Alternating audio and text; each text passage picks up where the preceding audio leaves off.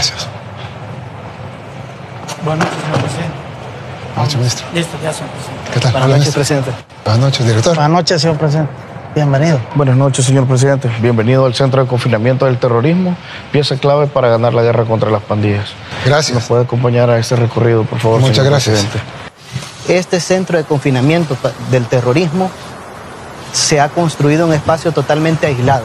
Se adquirieron 236 manzanas.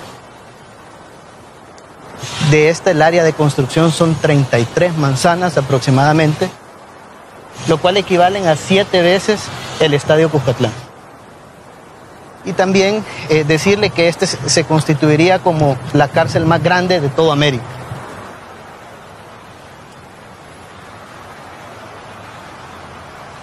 Si me permite también mencionarle, es de que aquí van a haber fábricas en las cuales ellos van a estar trabajando a diario.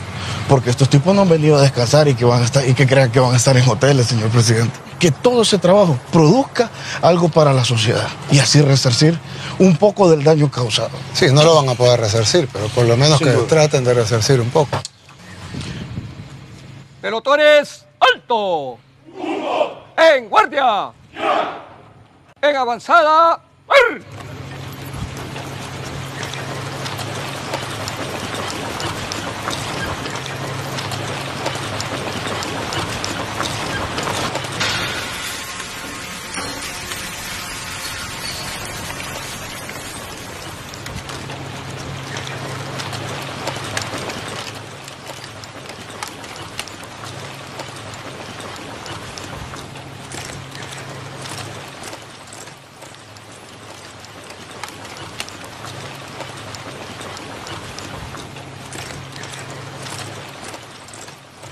Y hoy nos encontramos en una de las áreas que evidentemente debe de existir en este centro y son las áreas de aislamiento, las áreas de castigo, señor presidente. Ranfleros nacionales, corredores de programa, gatilleros que se encargaban de matar al pueblo salvadoreño van a estar evidentemente en una celda común. En castigo. En castigo, señor presidente. Claro. Todo aquel que quisiera organizar dentro de este centro de confinamiento algún tipo de altercado, también le va a tocar ese tipo de régimen donde no va a ver la luz del sol, señor presidente.